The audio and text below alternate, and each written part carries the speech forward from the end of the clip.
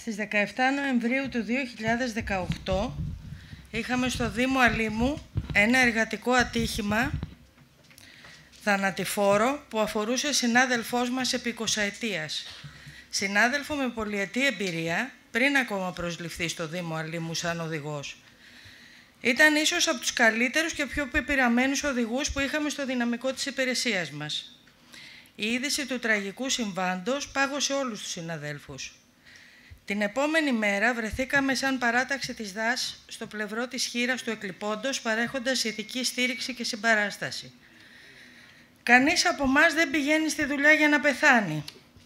Όμως τους καιρούς που βιώνουμε όλοι μας, η υποστελέχωση από ανθρώπινο δυναδικό, η υπερεντατικοποίηση στους χώρους εργασίας, καθώς και τα προβλήματα στα οχήματα, όπως παλαιότητα, βλάβες και ελλειπή συντήρηση, η ελλείψη σε ΜΑΠ, όπως και η άλλοτε χορήγηση ΜΑΠ κακής ποιότητας, έχουν κάνει τους εργαζόμενους να εργάζονται με αυξημένο στρες και να βασίζονται περισσότερο στα αντανακλαστικά τους και στην εμπειρία τους όσοι έχουν, καθώς με την πρόσληψή σου καλείσαι χωρίς καμία εκπαίδευση, να μάθεις το αντικείμενό σου και γρήγορα.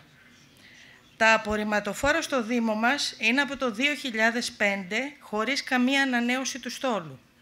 Δουλεύουν σε δύο βάρδιες επί καθημερινή βάση. Το τελευταίο καινούριο απορριμματοφόρο που αγοράστηκε ήταν πριν το 2014.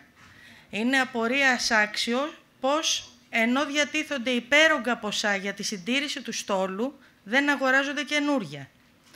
Ωστόσο, επίσης, απορία άξιων είναι ότι στον προϋπολογισμό του Δήμου Αλήμου υπάρχει κονδύλια 900.000 ευρώ για σέρβις σε ιδιωτικά συνεργεία, χωρίς να υπάρχει πρόβλεψη για αγορά άλλου απορριμματοφόρου.